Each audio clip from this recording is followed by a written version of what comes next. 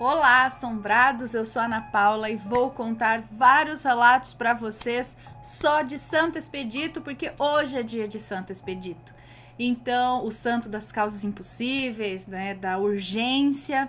É, então, juntamos aqui só relatos que envolvem Santo Expedito.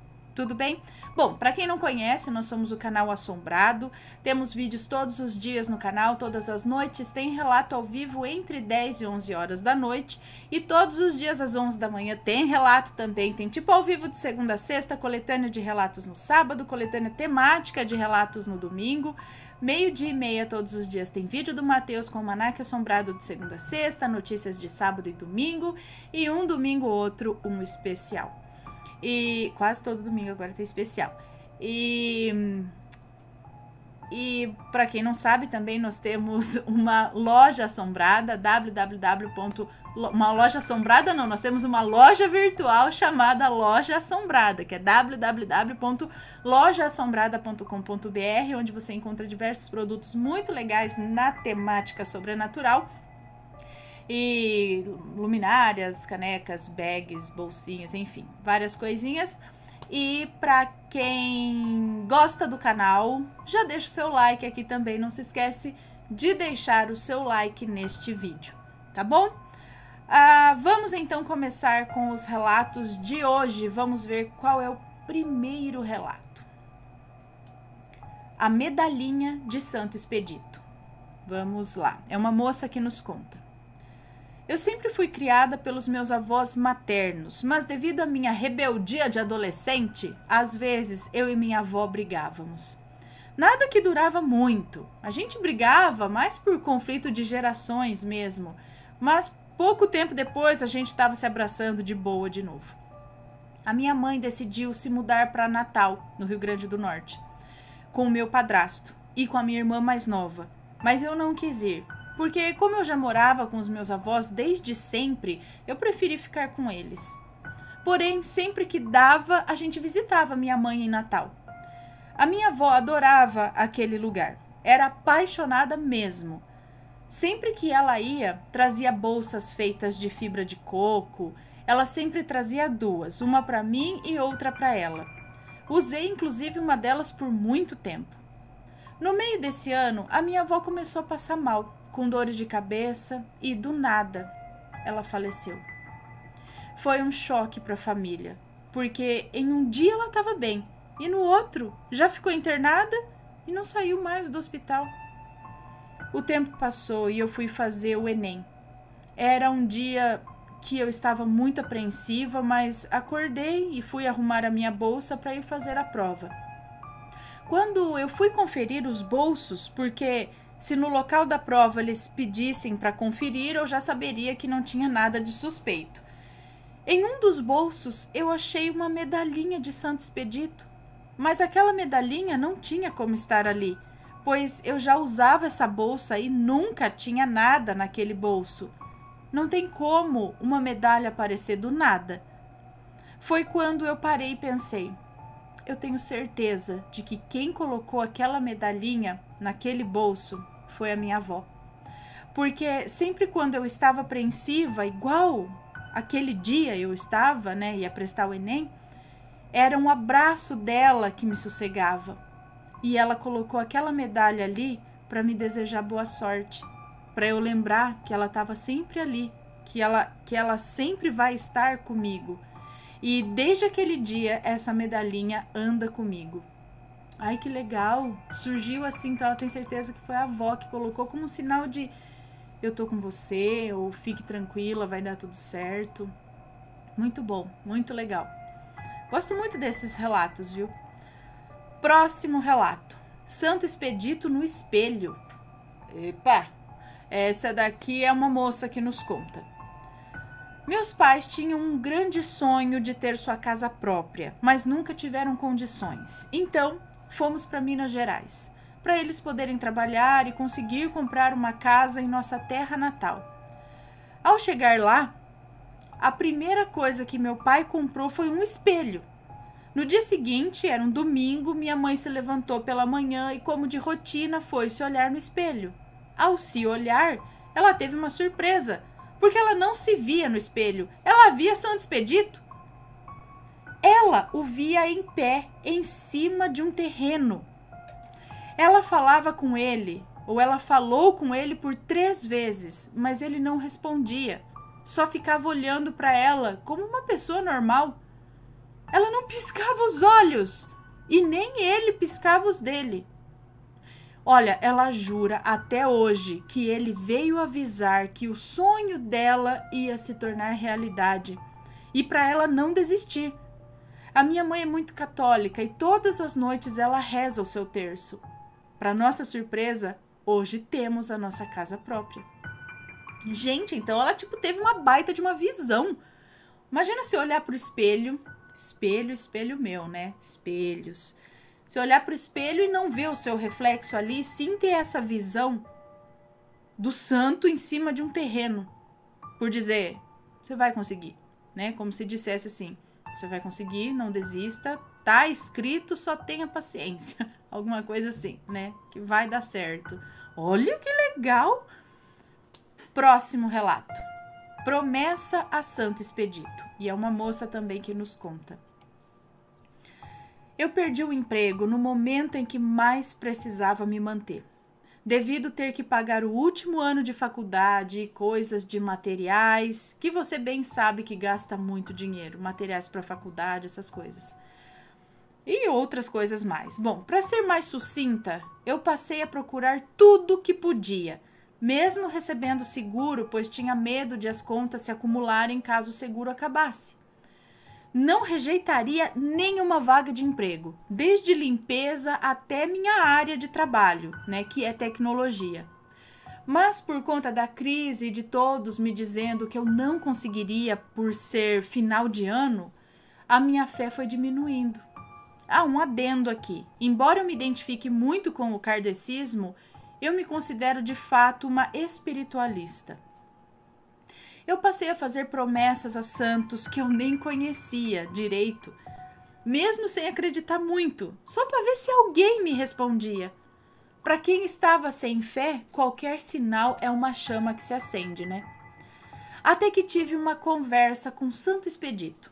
Eu disse: Poxa, meu Santo Expedito, o senhor está vendo que eu estou me esforçando para tentar algo, mas eu não estou conseguindo. Me ajude, por favor. Então, em três entrevistas depois, eu consegui o emprego que eu tanto queria. Olha, não é um relato assombrado, mas foi tão incrível conseguir emprego na hora que nada acontecia, em que a vida parecia travada. Graças a Deus e ao querido Santo Expedito, as coisas estão bem melhores agora. Olha que bom! Foi só ela dar um bater um lero ali, dar uma conversada, falou, Laia, né, que deu certo.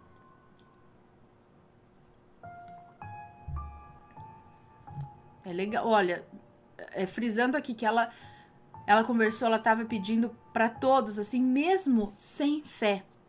Sabe? Mesmo assim, é, tipo, tirando para tudo quanto é lado, sem conhecer direito, e mesmo assim parece que valeu. próximo relato: A Rede Amaldiçoada. É uma moça também que nos conta. A minha família estava voltando de um passeio e na beira da estrada havia aquelas barracas que vendem vários produtos caseiros, como queijos, doces, e havia uma barraca de panelas de ferro e uma outra de redes. Meu pai resolveu parar na barraca de redes para comprar uma. A vendedora dessa barraquinha era uma senhora que disse que ela mesma fazia as redes.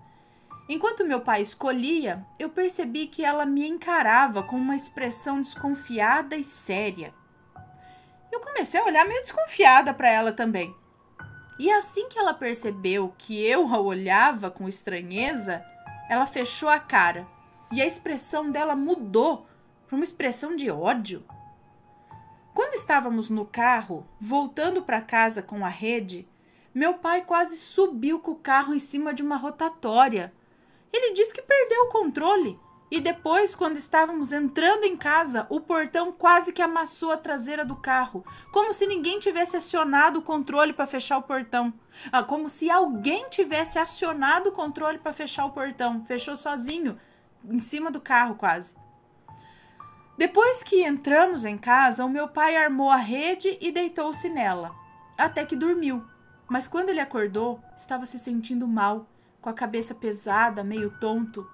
Ele disse que era porque tinha ficado muito tempo deitado, balançando na rede. Porém, ele começou a piorar depois disso. Passou a vomitar, teve febre, teve diarreia e até mesmo sangramento nasal. Ele foi no pronto-socorro e os exames não constataram nada. Mas meu pai continuou se sentindo muito mal e ficou de cama por semanas. Outro dia, quem deitou na rede foi meu irmão. Ele estava deitado tranquilamente quando do nada caiu com a rede e tudo, na minha frente e da minha mãe. Quando chegamos perto para ver o que, que aconteceu, eu vi que a rede não tinha rasgado e nem que o gancho tinha quebrado. Sei lá, era como se ele tivesse tirado a rede do gancho. Meu irmão bateu as costas e a cabeça no chão, mas ficou apenas com dor por alguns dias. Depois foi com um dos meus cachorros, que enroscou o pescoço nos fios que ficam pendurados nas laterais da rede, e ele começou a se enforcar, mas eu consegui salvá-lo. Eu já estava com o pé atrás com aquela rede. Contei o ocorrido para minha mãe e disse que tudo o que estava acontecendo de ruim até agora foi por causa daquela rede. Mas ela não acreditou e disse que uma coisa não tinha nada a ver com a outra. Depois de uns dias, minha mãe tirou a rede, pois ela estava atrapalhando ali na passagem. Então ela guardou a rede em um armário, num quartinho de bagunça. Mas esse quartinho é onde os cachorros dormem. E desde que a rede foi guardada lá, eles começaram a ficar agressivos, mesmo com a gente, que é da família. Além disso, começou a aparecer ratos lá, coisa que não acontecia antes. Foi então que eu me cansei disso tudo e resolvi dar um jeito na rede, já que ninguém acreditava em mim. Eu não podia jogar fora, porque senão meu pai brigava. Mas eu coloquei a rede num saco de lixo cheio de sal grosso e com uma foto de Santo Expedito que estava dentro da Bíblia da minha mãe, Olha, foi a única imagem sagrada que eu achei. Lacrei bem o saco e coloquei no fundo falso da gaveta de uma estante que fica na sala. E nessa estante fica um quadro de, da Santa Ceia e uma imagem de Nossa Senhora Aparecida. Olha, fiz tudo isso sem ninguém saber. E desde então, meu pai melhorou. Meus cachorros ficaram dóceis de novo e os ratos sumiram. No início eu ouvia um som abafado vindo de dentro daquela gaveta. Era um som de batidas, como se alguém estivesse batendo no fundo da gaveta. Somente eu ouvia esses barulhos porque eles só aconteciam quando eu estava por perto ou sozinha. Mas com o tempo eles pararam. Até me esqueci que aquela rede existia. Mas recentemente meu pai perguntou pela rede, pois ele queria se deitar. Então eu tive que contar. Ele brigou comigo, disse que eu era boba e fui lá pegar a rede dentro da gaveta. Porém, tamanho foi nosso espanto quando ele abriu o saco. O saco em si, o sal e a imagem do Santo Expedito estavam intactos, porém a rede estava infestada de larvas, toda furada e comida. O tecido dela estava com uma cor escura e fedia a podre. Era como se a rede tivesse em decomposição.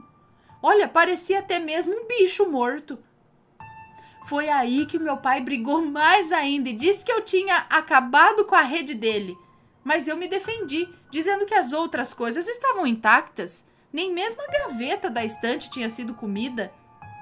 Ele fechou o saco de novo e colocou na lixeira da calçada. Mas depois, mais uma vez, sem ninguém ver, eu corri para a rua, peguei o saco e coloquei fogo nele, no terreno do lado, que não tem nada construído. Para mim, colocar fogo era a melhor forma de destruir de uma vez por todas aquela coisa. A fumaça no começo era preta e tinha um cheiro muito forte de carniça, mas depois ela ficou branca e sem cheiro nenhum. Hoje está tudo bem conosco e não aconteceu mais nada de estranho em casa. Porém, eu vivo com o pé atrás, com tudo e com todo mundo, porque as coisas mais inofensivas podem ser as piores. Gente, será que isso tudo foi o zóio ruim da véia que fez a rede? E por que, que ela simplesmente ele parou lá para comprar a rede, ela encanou com você, enviou, um olhou para outro, falou que não gostei de você, vou botar uma mandiga nessa rede aí para todo mundo se ferrar. Ou não, não foi intencional. Ela só tipo não foi com a tua cara, ficou de mal ali, de, de vou vender a rede, mas eu não gostei dela, e só por esse pensamento negativo já botou, impregnou coisa ruim na rede. Ou no momento, ou às vezes ela não era uma pessoa muito boa, não tinha ali uma energia muito boa junto com ela, mas ela fazia redes e vendia. E às vezes durante a confecção daquela rede ou de outras, talvez, ela não estava bem, ou ela estava brava, xingando, sabe? Quando você vai fazer umas coisas, ai, tomara que fulano se ferre, não sei o quê, papapá, sabe? Aquela energia ruim, e aí ela acaba fazendo aquele produto com energias ruins. E isso acaba afetando a pessoa que utiliza esse produto. Né? Não foi assim, direcionado, intencional para aquela família que ela não conhece, simplesmente parou ali e comprou o produto dela. Devia até ficar feliz, né? Agradecer a pessoa, abençoar, mas não mas é por isso que eu falo que às vezes não foi intencional, às vezes a pessoa é carregada por N outros motivos e ela faz um produto e te vende. Te dá, não sei, e aquele produto já vem carregado. Não sei. Se alguém entende mais a respeito disso, diga se tá certo ou não, tá bom? Mas ou oh, uma rede não cria bicho. Se, só se for algo vivo ali e ser comida e feder do nada assim, sem ter nada. Muito estranho. Uh, beleza. Uh, próximo relato. O canal me deu uma luz. Santos Pedito. É uma moça que nos conta. Eu tenho 16 anos e desde os meus 14 anos eu moro com meu namorado. Gente do céu, é muito novinha, mas vamos lá. Em setembro de 2019, consegui um emprego de costureira. Estava dando tudo certo, mas no final de dezembro me mandaram embora, pois, como eu sou menor de idade, alegaram que me denunciaram. Enfim, fiquei sem emprego e com dívidas. Como eu estava trabalhando, comprei coisas para casa e presentes para todo mundo. Ainda mais que, que ainda contava com a pensão do meu pai, que todo final de ano vem me ver. Chegou o dia do meu pai vir e nada. Resumindo, sem o dinheiro da pensão dele também. No mês dava só de conta para eu pagar 600 reais. Eu fazia bico na casa da minha tia e ganhava 200 reais por mês, mas mesmo assim não pagava. Então comecei a ficar desesperada. Foi quando, assistindo os vídeos do canal, eu vi um relato que falava sobre Santos Pedito e resolvi fazer uma oração. Gente, um dia depois, a minha ex-patroa me mandou um oi no WhatsApp, perguntando se o filho dela, que era como se fosse um encarregado, se ele tinha falado comigo. Eu respondi que não e fui dormir. No dia seguinte, uma mensagem dele, falando que se eu quisesse trabalhar era para começar na segunda-feira. Eu fiquei tão feliz e hoje estou aqui contando o meu pequeno milagre. Olha, não tem nada de sobrenatural, pode até ter sido coincidência, mas a quem me ajudou sou eternamente grata. Olha que legal. E a gente sempre fica com essa questão. Será que realmente foi foi algo divino? Alguém lá em cima mexeu os pauzinhos ou foi uma coincidência? Não sei, mas eu não gosto muito de, sei lá, eu não acredito muito em coincidências, não. Um, próximo relato e último relato desta coletânea de Santo Expedito. Promessa Santo Expedito com atendimento imediato. Afinal, Santo Expedito é o santo das causas impossíveis, das causas urgentes, não é? É uma moça também que nos conta. Eu comecei a trabalhar desde cedo, quando ainda estava no colégio, mesmo sem carteira assinada. Quando fiz 20 anos, ainda não tinha nenhum trabalho de carteira assinada, então já estava começando a ficar preocupada e ansiosa em relação a isso. E aí corri atrás. Não foi fácil conseguir esse emprego. Passei um dia inteiro debaixo de sol quente, numa fila gigantesca. Eu não tinha noção do que me esperava. Só tinha levado um sanduíche e uma garrafinha de água e fiquei o resto do dia sem comer sem dinheiro para comprar alguma coisa, pois eu estava desempregada, nada naquela fila andar. Estava ali desde as cinco da manhã e só chegou a minha vez às seis da tarde. Graças a Deus, uma alma bondosa comprou algo para dividir comigo, então eu não desmaiei. Mas no final me serviu de experiência e eu fui contratada. Fiquei muito feliz com o meu primeiro emprego de carteira assinada. Finalmente, um salário digno, um emprego tranquilo. Só que não. Não vou citar o nome da empresa, mas é ótima para seus clientes, mas com seus funcionários tinha muito desvio de função e, além disso, sofríamos assaltos toda semana. Eu não estou exagerando, não, era realmente toda semana. Teve uma vez que tinha acabado de rolar um assalto e logo depois veio outro grupo assaltar. E quando dissemos que já não havia mais nada no caixa por conta do assalto anterior, ele ficou furioso e quase acertou a minha cabeça, alegando que eu estava mentindo para ele. Eu guardava tudo para mim. Eu não dizia nada aos meus pais, nem para o meu namorado, eu não queria preocupá-los. Até que um dia a loja em que eu trabalhava virou notícia e eu não pude mais esconder. Os policiais eram chamados tantas vezes que, vi que viraram até nossos amigos. Eles ficavam na esquina de vez em quando para nos proteger, mas tinham que fazer a ronda. Então, assim que a viatura saía, éramos assaltados. Meu Deus! Bom, tudo isso me resultou problemas psicológicos que nunca imaginei que teria. Logo eu, que sempre fui tão calma, fui diagnosticada com ansiedade e síndrome do pânico pós-traumático também. Eu não aguentava mais, até pensei em tirar minha vida. Até que um anjo me ajudou a ser transferida para uma loja de shopping, que era bem mais segura. Porém, eles tinham um ritmo completamente diferente e eu não me habituei. Cobravam demais, o ritmo era frenético e por aí vai. Resultado, desenvolvi um quadro de depressão. Continuava tendo crises de ansiedade, não conseguia dormir bem, não me alimentava direito, não falava com ninguém. Eu não estava bem. Conversei com o gerente, me abri com ele e ele super entendeu. Pedi para ele me demitir, com todos os meus direitos e finalmente pude descansar. Mas eu não conseguia descansar. Eu estava preocupada. E agora? Eu estou desempregada, preciso trabalhar. Procurei por muito tempo um emprego e não conseguia nada, nenhuma entrevista, nenhum telefonema. Não era possível, gente. Eu fiquei os seis meses de auxílio-desemprego procurando e nada. Continuei procurando por dois anos e nada. Mas o que tem de sobrenatural nisso?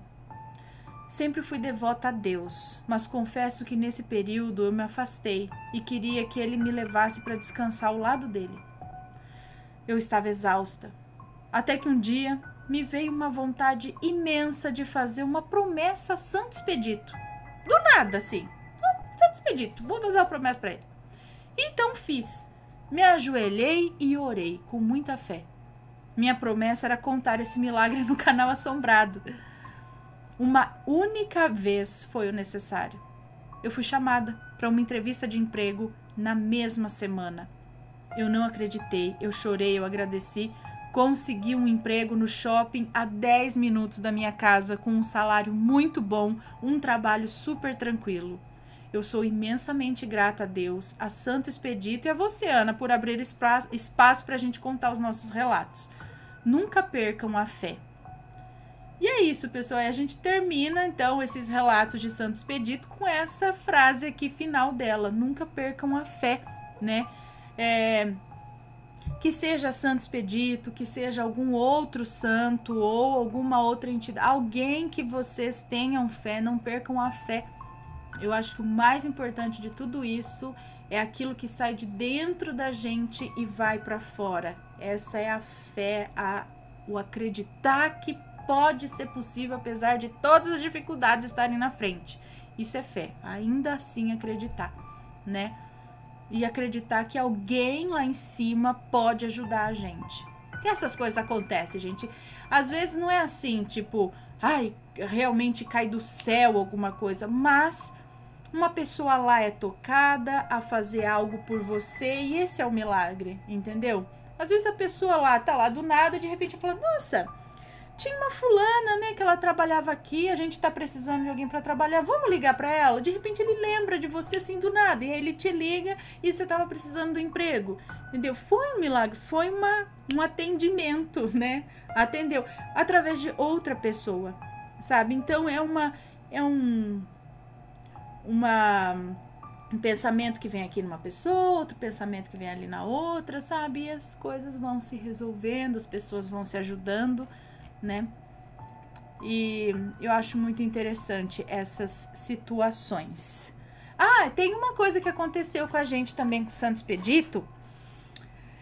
Ai, deixa eu ver. Ai, tem um relato até antigo aqui. Não, mas isso aqui é com a gente. E agora, será que eu vou lembrar a história? Foi o seguinte, eu tava com a minha mãe no centro de Santo André, eu era criança ainda, é, tava só nós duas e a gente tinha ido para comprar o meu material escolar.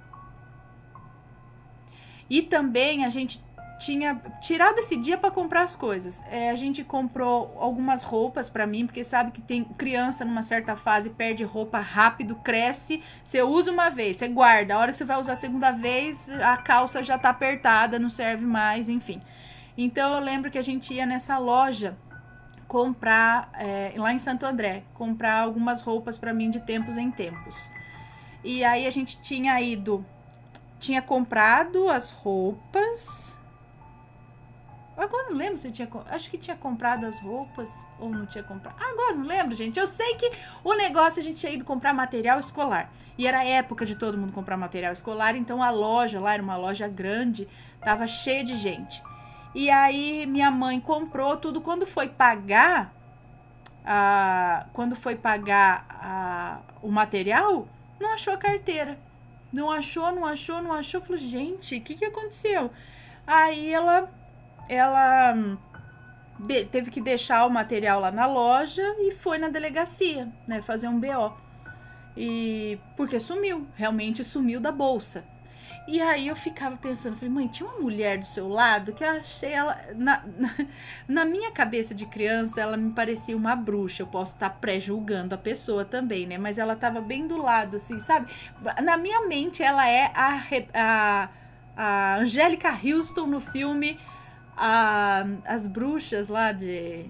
Que vira rato lá, sabe? Ah, esqueci o nome do filme também. E aí ela tava assim do lado, batendo os dedos na mesa, sabe? Assim, bem do lado da minha mãe na bolsa. Ela tava assim. E eu lembro que eu bati o olho nela, até falei pra minha mãe, tinha uma mulher muito esquisita do teu lado. Eu acho que foi ela que enfiou a mão na tua bolsa e roubou. Porque a gente acha que isso aconteceu, entendeu? Alguém viu, minha mãe deve ter aberto a bolsa para pegar as coisas e deixou a bolsa aberta. E alguém pode ter enfiado a mão e pe pego a carteira. Porque não derrubou, não. Enfim. Era década de 90, a gente não tinha telefone em casa. A gente usava o telefone dos vizinhos para se precisasse de recado. E aí foi tal, teve que sustar cheque, não sei o que, só que tinha, tava cheio de documento na carteira e e ah, passou o dia inteiro. Meu pai veio da fábrica para ajudar a resolver isso e tal. Foi aquela dor de cabeça, né? E aí quando a gente chega, e aí minha mãe rezando, né, pedindo porque o mais chato tinha tinha, acho que, dinheiro também na carteira, tudo, mas documentos e tudo mais, muita coisa, né? Era uma carteira ainda assim, ó. Eu lembro, era uma carteira comprida, assim, que se abria aqui e aqui, eu acho, sei lá. E aí, ela rezando, pedindo tal. Quando a gente chegou em casa, assim que a gente abriu a. Eu não lembro se ela chegou a pedir para Santo Expedito. Agora preciso confirmar com ela se ela chegou a pedir para Santos Expedito especificamente, porque a hora que a gente chegou no portão de casa, é, dentro do portão tinha jogado ali um daqueles santinhos, aqueles papelzinho de Santos Expedito com a oração atrás. Aí ela pegou aquele papelzinho, aí eu não sei se foi aí que ela fez a oração e pediu, sabe? Mas a hora que a gente chegou em casa, no portão ainda o vizinho veio que ligaram de uma loja falando que encontraram uma carteira. Porque a minha mãe tinha anotado com caneta na carteira o telefone do vizinho, né? E aí o. o acho que encontraram, ligaram pro vizinho, o vizinho já falou. E aí minha mãe foi, era na, na, nessa loja de roupas. Então eu não lembro se essa loja tava. No dia a gente foi nessa loja, ou a gente sempre ia nessa loja de roupas infantis. E essa pessoa da loja encontrou, que disse que ela tava mexendo nas, naquelas coisas de. de é, ah, aquelas. É, não é prateleira, que fica no meio das lojas com as roupas. Ela tava dobrando as roupas ali, no que ela pôs a mão, ela tirou uma carteira. Aí no que ela abriu, mexeu, viu o telefone, ligou. E aí ela guardou lá, nós voltamos, pegamos a carteira.